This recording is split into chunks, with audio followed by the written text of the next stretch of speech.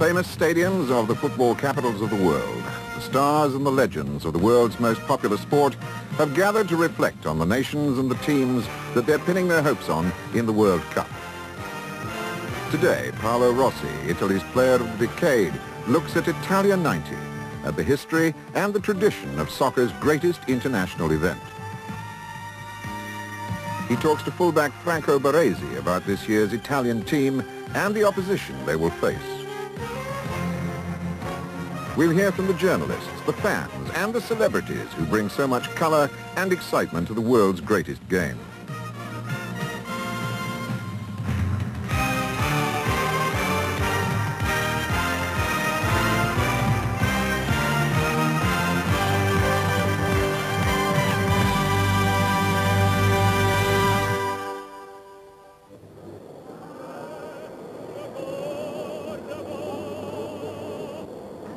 And now let's hear from a soccer legend, a man who really knows his game.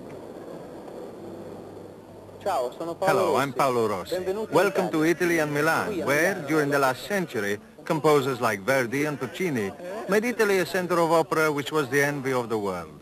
But here in Milan next June, voices will be raised in a very different song as the curtain rises not very far from here at the San Siro Stadium on soccer's greatest event, the 14th World Cup.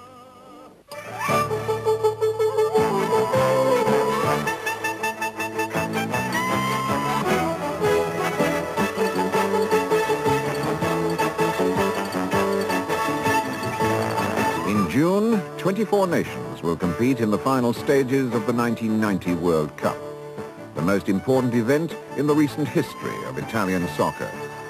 It will be greeted in Italy with the same enthusiasm that was shown in 1982 when, in Spain, Paolo Rossi became a world star in just two weeks. That World Cup fully revealed his amazing talents, particularly his ability to score vital goals. Six of them, more than any other player in the tournament, and all of them decisive. His goals swept Italy to the final with Germany, and after more than 40 years, Italy won the World Cup for the third time. Rossi! Rossi! Italia in vantaggio!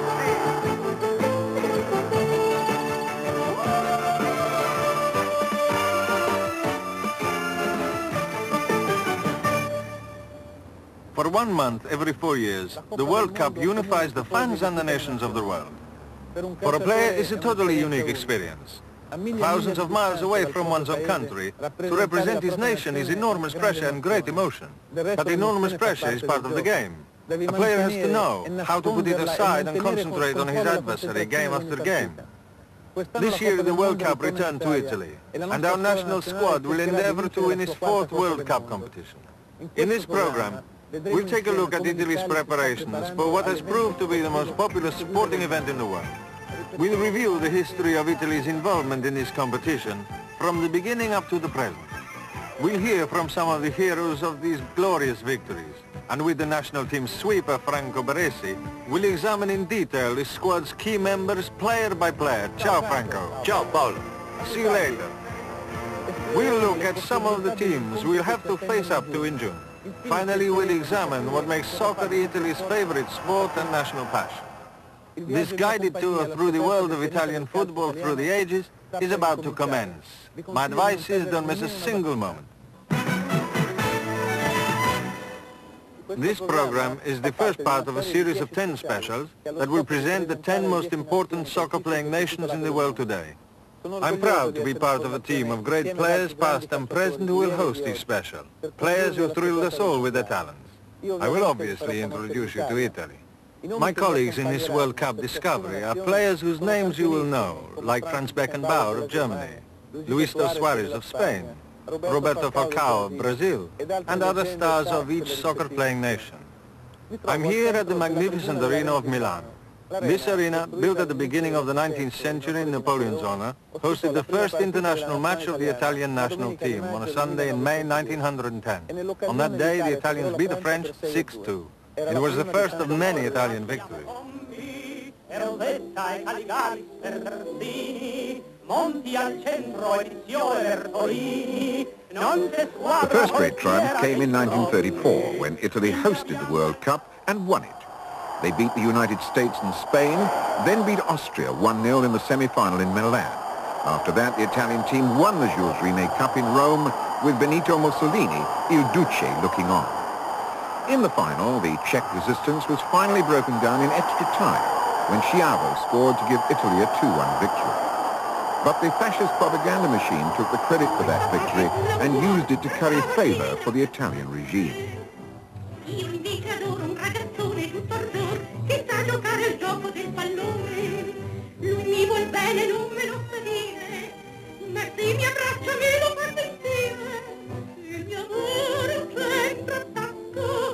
Four years later in France, Italy defended the title under coach Vittorio Pozzo.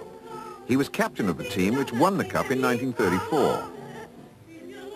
Silvio Piola was Italy's new star, but the real strength of the team came from skipper Giuseppe Meazza. A member of the 1934 team, he was regarded by many as the greatest player of his time.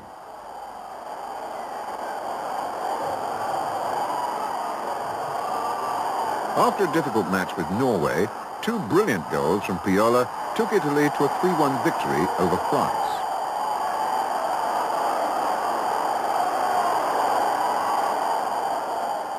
Thousands saw the surprising Italian 2-1 semi-final victory against Brazil. It opened the last door to the Italian team, to the final itself, in Paris, against Hungary.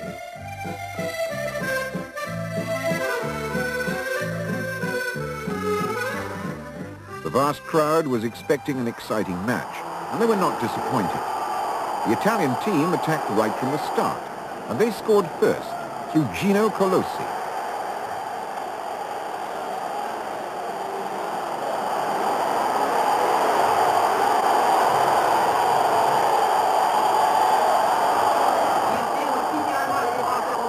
A few minutes later, Silvio Piola increased the Italian lead.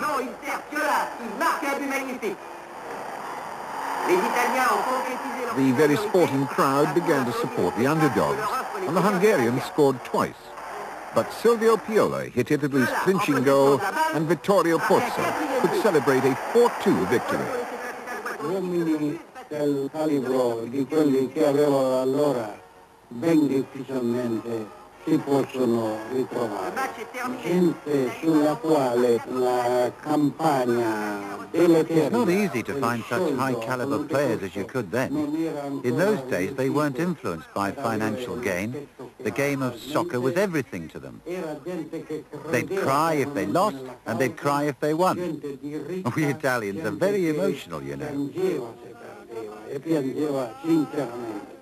Forza, forza Viola, sei sempre giovane e potente come allora.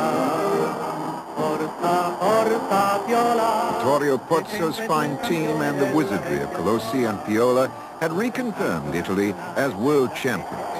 The date was June 19, 1938. But it was the end of an era.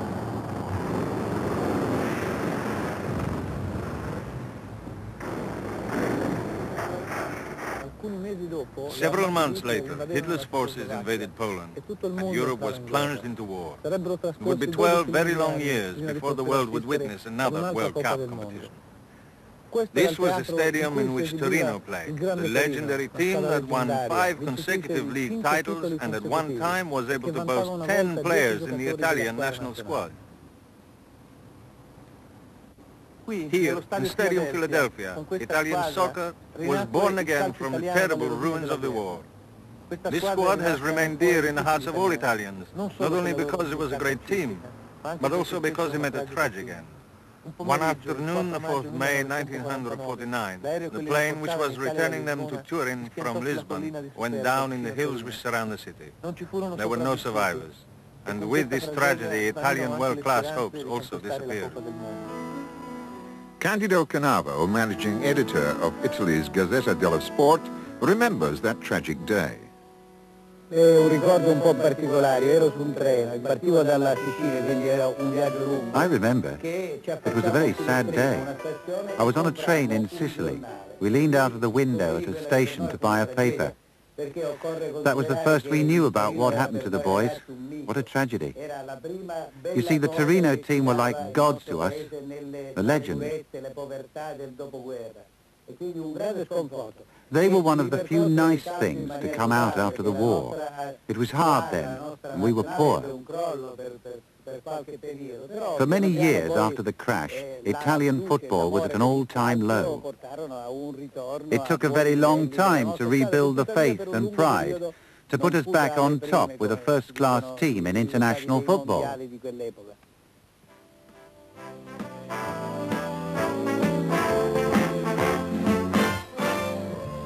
In 1950, the team sailed for Brazil. Onboard training had to be suspended. All the balls had been lost overboard. They didn't do any better on dry land either. They were eliminated in the first round. Giovanni Trapattoni, now coach to Inter Milan, recalls another sad World Cup, 1962, in Chile. Chile were a very strong team. They had great players who later became Italian nationals. They were so good on the technical side, they could face any team and keep fighting right to the end.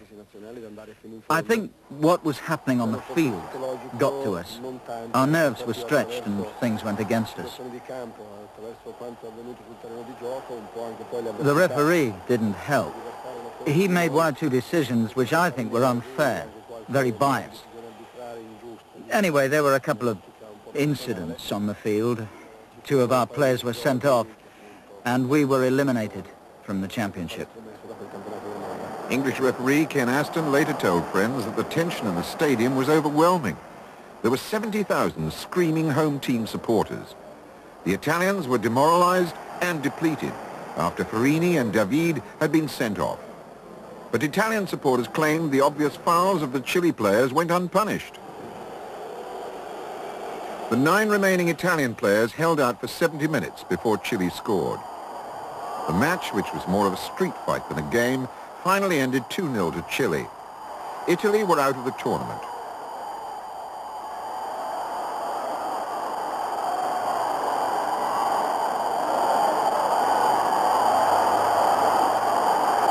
Referee Aston later took a referee's supervisor's position, but never again refereed an international match.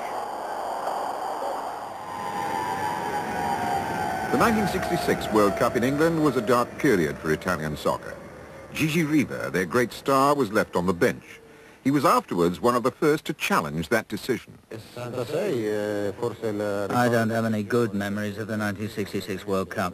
I was a young man, 22. I was in really good form. I could have been in the team. But they took me along as a sightseer, on the bench. Why, I don't know. I wanted to play, but what could I do? Many had considered North Korea were a weak team. They soon proved them wrong. The Italian team were in trouble.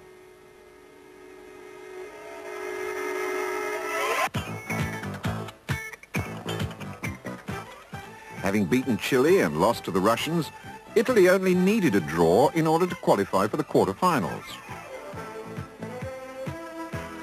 Italy's manager, Edmondo Fabbri, had decided to play the injured Giacomo Bulgarelli in midfield. It was a gamble, but even with a bad knee, he was a player to be reckoned with. However, he finally had to limp out of the game, and they were a man short. The North Koreans had the advantage. That was all the edge Korea needed. Within minutes, dentist Park Duik scored. Furious Italian counterattacks failed to produce an equalizer. The unimaginable had become a reality. Italy had been beaten by an unknown squad of Oriental amateurs.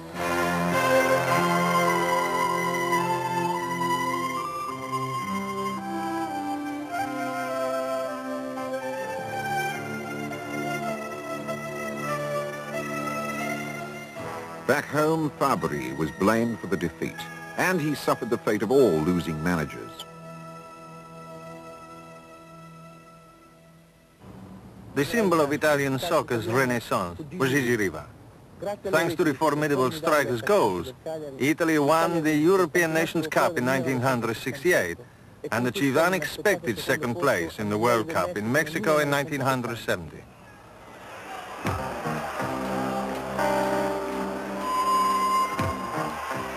the Azteca Stadium, Mexico City, June 17, 1970.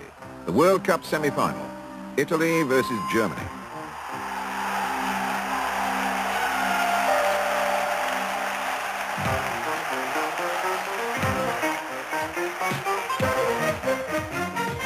Italy surprised the Germans early on by being more adventurous than usual. After only eight minutes, Roberto Boninsegna put them in front. But then the Italians pulled back into their defensive shell. The Germans were unable to find a way through. Thing but any hope of a German victory seemed lost. Tempers flared, but Uwe Seeler urged his teammates to keep calm as time was running out. Then, in the 89th minute, a cross inside the Italian area landed right on Schnellinger's foot.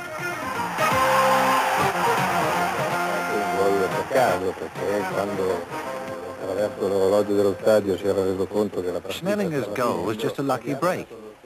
He thought the match was as good as over and was heading for the dressing rooms, which were behind the Italian goal. He was only there by chance, but we should be grateful to him. Without his goal, we'd never have played that unforgettable extra time.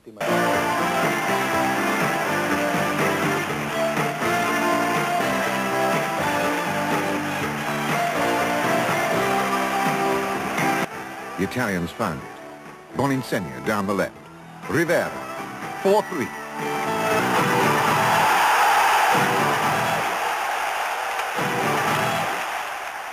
The final in comparison was an anticlimax. Italy lost while Brazil won their third World Cup. Germany's big moment would come, but not for four years. In 1978, in Argentina, I played my first match in the World Cup finals.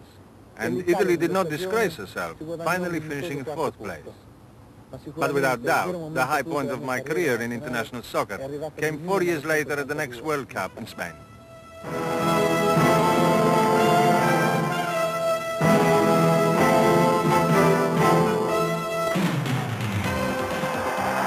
The 1982 World Cup saw Paolo Rossi's return to the game.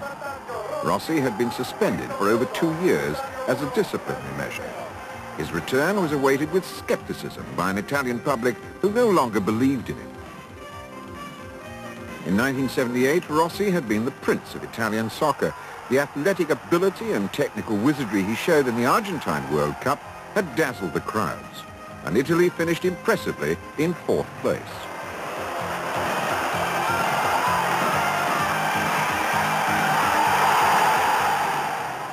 In 1982, Rossi stunned the world with six World Cup final goals. A national survey rated this as the soccer performance of the decade.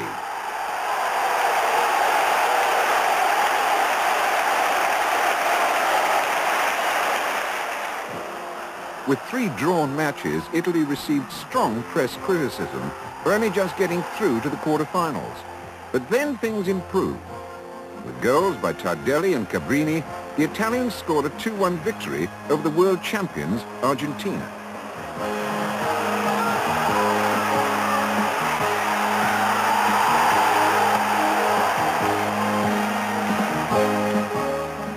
Italy's next battle was with the cup favourites, Brazil. Three goals from Rossi, plus a tremendous performance from Dino Zoff, the 40-year-old goalkeeper, gained a 3-2 result.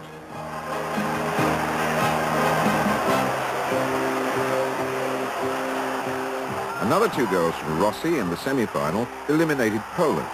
Italy were through to the final for another confrontation with the Germans who hadn't forgotten the defeat 12 years earlier in Mexico.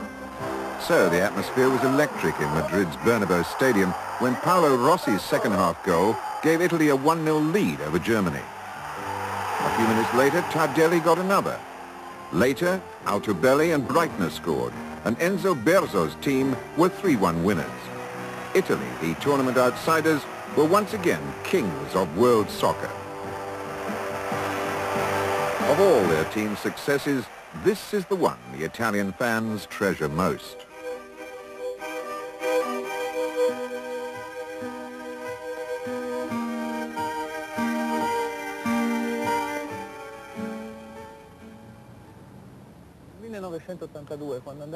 1982, during the television broadcast of every Italian match, the only thing to be heard was this voice.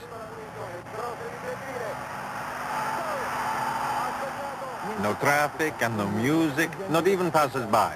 Only this voice. It came from thousands of televisions, and a shout of joy from millions of fans as they celebrated with one voice our magnificent World Cup victory. The city had become a stadium.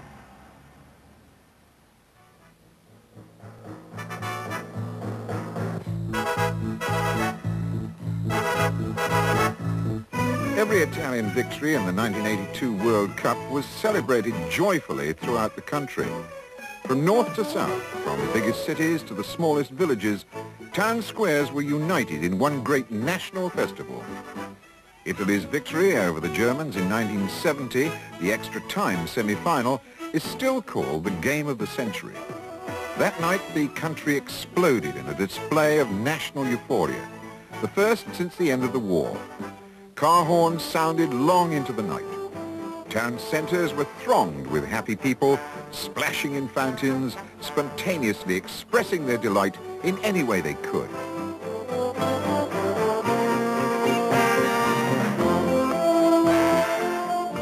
Scenes like these have greeted every Italian World Cup victory and will be repeated in June. They've become the symbol of the Italian people's affection for their national team.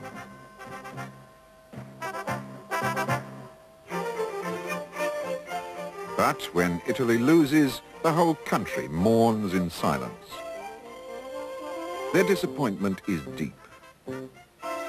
Whether as a reflection of national pride or just a release from everyday life, this intense reaction clearly demonstrates the power of this game. To excite or subdue an entire nation in just 90 minutes.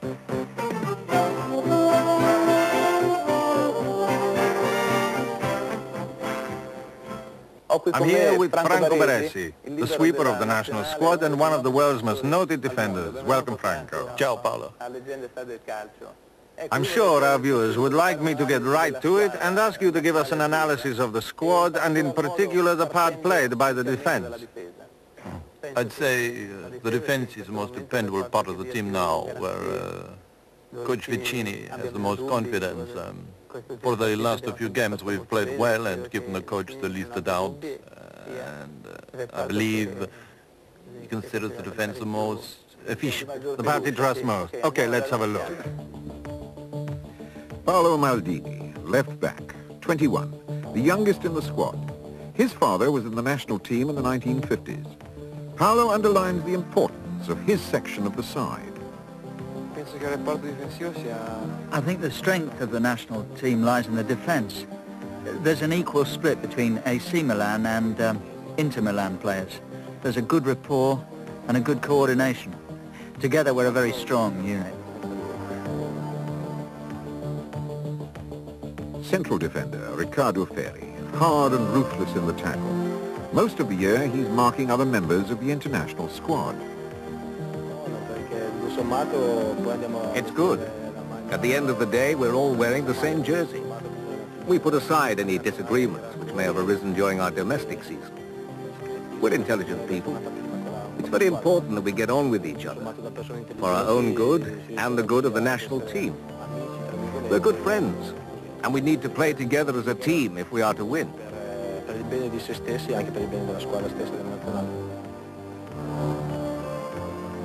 Walter Zenga exceptional goalkeeper, one of the best in Europe. He feels more confident and relaxed with the support of the crowd in games at home. When the World Cup is held outside Italy, people say there's not a high level of support. The crowd are against us. When we play at home, people say the tension's a problem because all the support is on our side. I like the support on my side.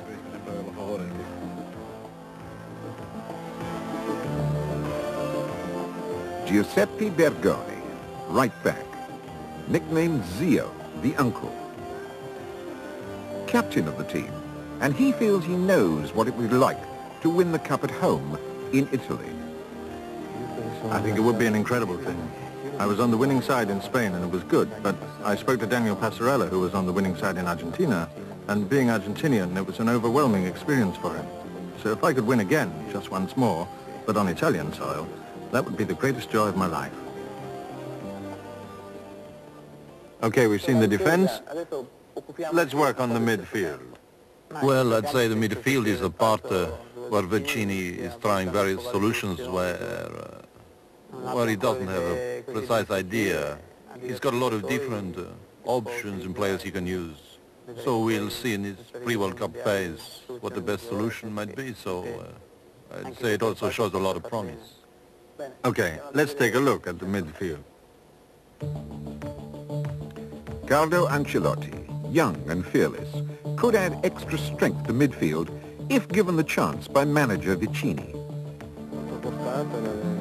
He's very consistent in the ideas he's introduced, and he has succeeded in promoting the under-20s, which is to his credit. He's also been very lucky, and in this game, luck is a thing you could never have too much of. That's very important.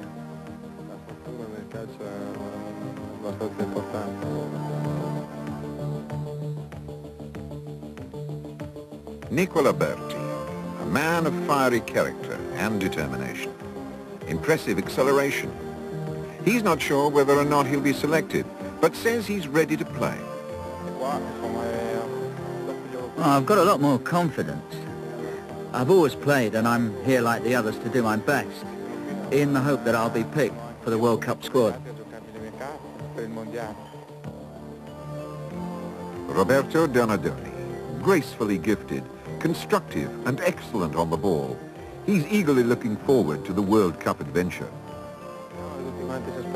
Everyone's expecting a great deal from the national team, we know that, especially as we're playing at home. It's only fair, really. They expect us to be the heroes of the hour. The national team has a duty to play well throughout the tournament, that's quite clear, although winning the cup is going to be a tough challenge. But we'll give it our best shot.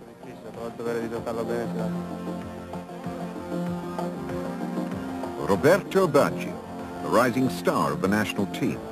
Technically brilliant, superb ball control, makes goals and scores them too. But he's unpredictable, and manager Vicini has reservations. However, the Italian fans love him. Many compare him with Zico. He was a great player, tremendous personality. I'm only at the beginning of my career and I've got a lot to learn. Giuseppe Giannini, called the Prince of Midfielders by Roma fans. A playmaker with flair and natural talent. But he might feel uncomfortable alongside Baggio. No, there's absolutely no bad feeling between myself and Baggio. You could see that on the field this evening. He plays more upfield than me, I play further back. What's important is that Italy do well. Certainly the midfield is the part that will have some changes, and Coach Vicini will be examining one way or another different solutions. There are players who will have to learn some positions which are a little different and maybe study some different strategies. But I'd say anyway, it's possible to arrive at the World Championship at the beginning of the World Cup with a good midfield. But at this point, I'd like to talk about the attack, which is surely very important very part of the the attack because uh, because it's a climax of uh, the game where we score goals. So anyway, uh, I'd say the only really sure player is Vialli. The problem is to play alongside Vialli. Coach is studying various alternatives. Uh, let's hope that uh, we arrive at the World Cup with the right combination. That's all we can do. With, with someone who scores goals. That's what's important. Let's take a look at the attack. Aldo Serena, one of several strikers who could be chosen by manager Vicini to play alongside Vialli. He's tall, strong, and very good in the air. I hope I get picked for the Italian national squad because I'd really like to play in the World Cup. But of course, all the others have the same ambition as me, so I'll have to wait and see.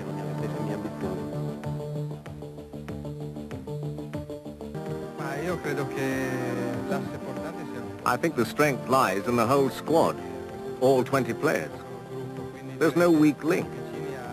If Vicini has a problem, It's having so many talented players to choose from and deciding who doesn't play. I hope it's a happy problem for him, because with such a range he has the freedom to make the best choice. And he knows that whatever he decides, we'll all accept it with a smile. Okay, Franco, we've talked about the entire squad, but I think there's someone we've forgotten. You. I know it's difficult to judge oneself, but... Uh, uh, I wouldn't know what to say. Uh, I'd say I always try to do my best, but it's up to the others to judge my performance. Uh, just, just say what I contribute, how I play. Personally, I'd say, if I had to give an opinion on Franco, I consider him one of the greatest defensive players in the world and that I've ever seen play soccer. Franco, last December 9th, the World Cup draw was held. Franco, they draw for Italy. What do you think? I think it went pretty well for us. We had some good luck, considering the other divisions. Uh, say our group is uh, a good one, uh, one that shouldn't give us too much hassle. America, uh, Czechoslovakia, Austria. Which of the three do you consider the most dangerous, the strongest? Well, lately we've played Austria where we won, but they definitely have a good squad, which played a good elimination round, and I'd say they can pose some problems for us. Czechoslovakia is kind of an unknown quantity, but you've got to be careful, you know. It's a mistake to underestimate anybody at this level. And then a surprise, there's the U.S. I think everyone is curious to see them play, the Americans. Okay, let's take a look at these three teams.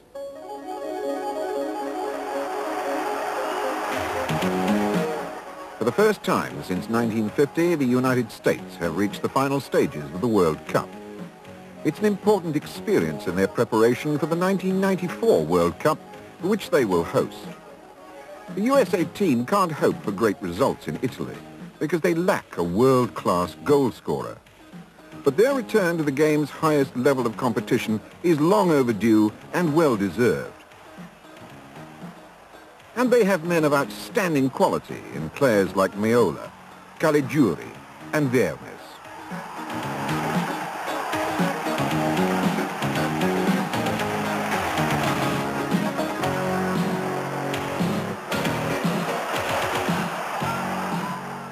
Austria, and thanks to their coach, Josef Hickersberger, they've at last come through a difficult period. They have several promising young players, but there are no major stars except perhaps centre forward Anton Polster. But they hope to revive memories of the Wunder team of the 1930s.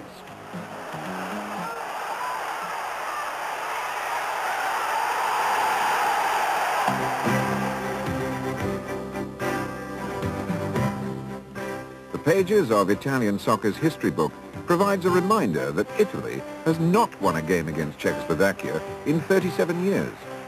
The Czechs have a strong defence, guided by Chovanec. The midfield can count on talented players like Kubik. He plays for Italy's Fiorentina.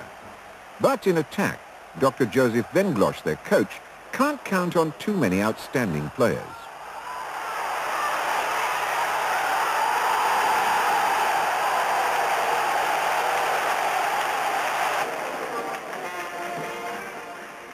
If Italy successfully get through the first round, they will sooner or later have to play against one of the other tournament favorites, Argentina, Brazil, West Germany and Holland.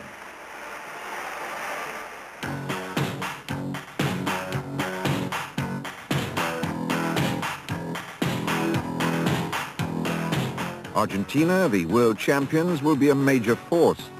They rely greatly on the fantastic talent of Diego Maradona, still considered by many to be the best player in the world. His ability and his goals were the outstanding feature of the last World Cup, when Diego unexpectedly led his team to final victory.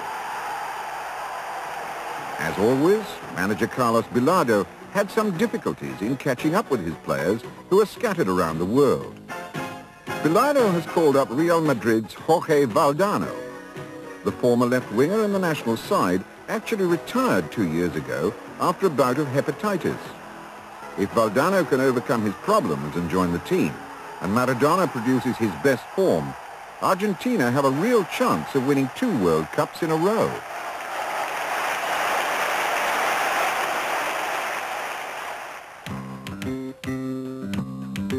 Brazil are able to call many excellent players into their World Cup squad, Traditionally, they've always produced superstars in practically every position. In the past, Pele, Gerson, Rivellino and Zico. Today, they have Carlos Dunga, Silas, Ricardo, Giovanni, Alemão. There are men who strike with power. Careca, Bebeto, Romario,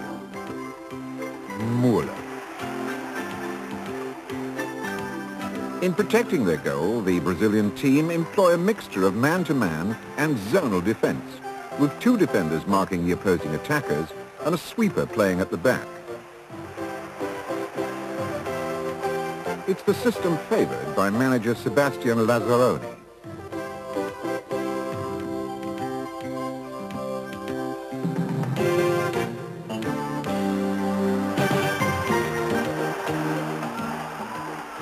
In their build-up to the World Cup finals, Germany have gradually built up a powerful side, which will offer a genuine challenge to everyone else in the competition. It's formed around their Italian-based stars. Matthäus, Klinsmann, Brehme. All three play for Inter Milan, and as Germany play first-round matches in Milan, they'll look for support from Inter fans. Völler and Berthold will likewise hope for the fans of Roma to be on their side if Germany reach the final in Rome. For Franz Beckenbauer, this World Cup will mark his final appearance as manager of the German national team.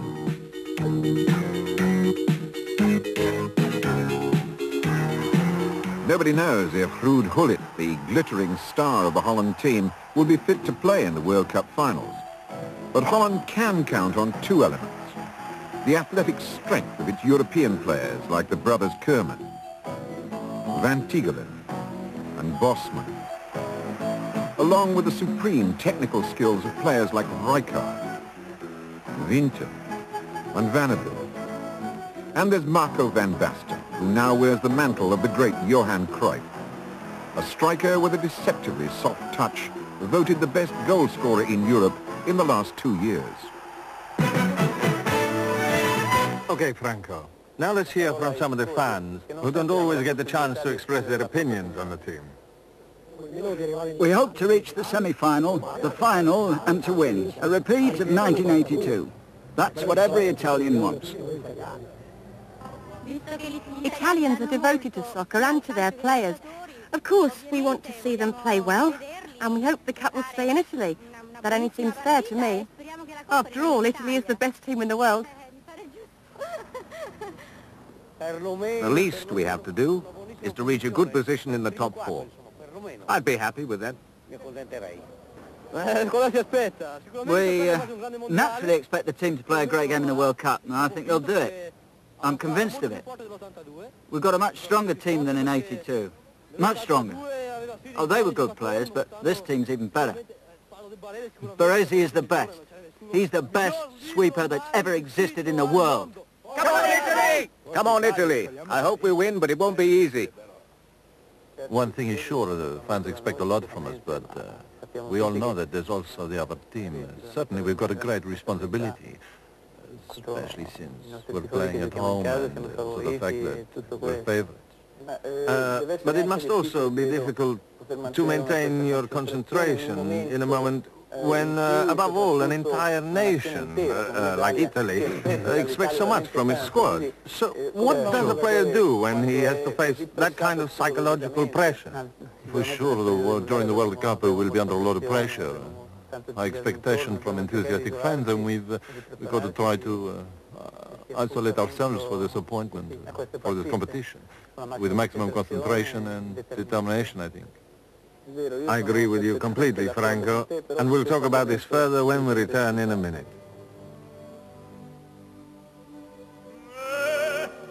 When it comes to singing the praises of Italian soccer, there's one voice that stands out. I'm a stage performer. I used to be a footballer like most Italian men. So what do you think of that, huh? I think sport is wonderful, but I think football is special. Italian boys are born with football boots on. As soon as we start walking, the first gift we receive is a football. I can tell you that Carreras, Domingo and I are going to give a concert in the name of soccer. We'd never do that in the name of art because we each have our own precise identity in the world of art. But we're going to do it in the name of sport, and specifically in the name of soccer. Football is football. It's quite simple, really. You kick the ball and try to get it into the net. That's it. It doesn't take a great deal of imagination. There is also an intellectual approach because everybody who likes to talk about the game, if they meet in the bar or wherever, has their own opinions. They all have their own views on the finer points of the game. Why did he pass the ball? If he'd hung on to it, he could have scored. So-and-so should have done this, or so-and-so should have done that. It is something which has grown out of the great rivalry between the different towns, different places. It is a sport which has great inventive power. You play with your feet, but you need inspiration, creativity, agility, the speed of an athlete, many, many things.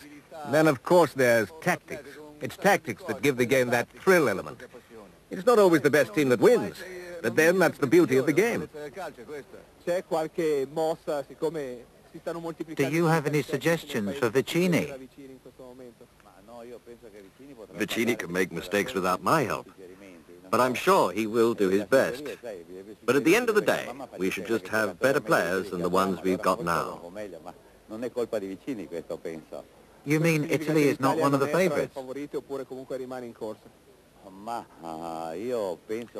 No, at the moment I don't think we are one of the favourites, but you can never tell.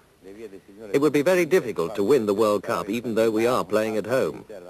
We lack creative midfield players, and even the attack leaves a lot to be desired. Let's hope and pray that at least we can score a few goals and then perhaps we will win the World Cup. Okay, Franco, we were talking about Italy as favorites, but in my opinion it isn't always the best team that wins. What I mean to say is it takes a little luck, some concentration, the right moment psychologically. Uh, what do you think? I agree with you. Uh, I think it's uh, the utmost importance to arrive at the World Cup in top form physically and mentally. We have to prepare ourselves as best we can in the period before the Cup actually begins. And uh, naturally, uh, what is helpful is that measure of luck. Okay, Franco, it looks like it's time to go, but I'd like to express my best wishes to you and to the entire squad. And I guess it goes without saying that we all expect to see you guys in the final in Rome. Thanks for the encouragement. Let's hope we don't disappoint the fans. And, uh, we said, uh, we've got this responsibility to win. Let's hope it all goes well. Thanks. And thanks for having joined us on the program. And thanks to all of you who've been watching the program. I hope you've enjoyed the show as much as I've enjoyed presenting it. Thanks a lot. Best of luck. And we'll see each other soon at the World Cup. So until then, take care. See you soon in June in Rome. And finally, long live Italy. Go for it, Italy. Come on, boys. We can do it. We can do it. Thank.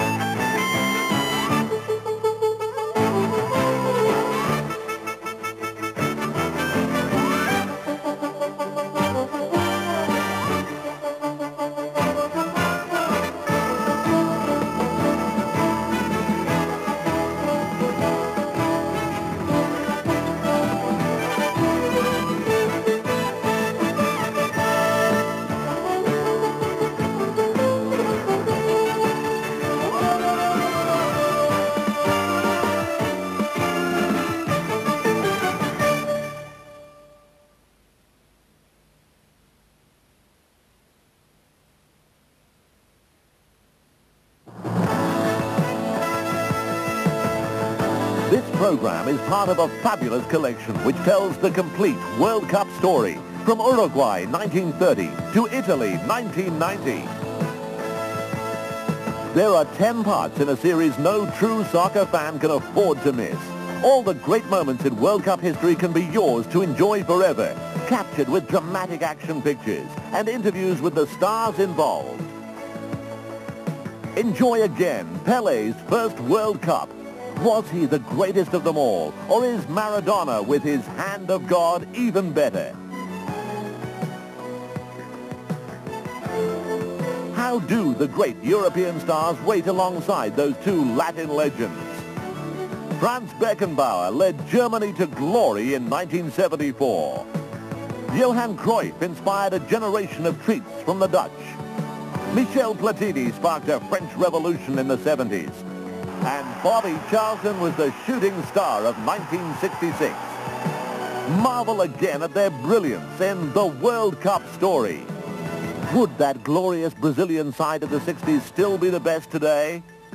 Did Geoff Hurst's third goal for England in the 66 final really cross the line? Decide for yourself. And who will win the cup this year? Find out why Bobby Charlton and 1986 top scorer Gary Lineker say it could be England. Paolo Rossi and Franco Baresi go for a home win, but will Italy's cast iron defense stand the heat? Can Maradona work his magic again to give Argentina the trophy for the third time in four series. The legends of the past, the stars of the future, they're all in the World Cup story. Yours to enjoy in your own home. Available now wherever videos are sold.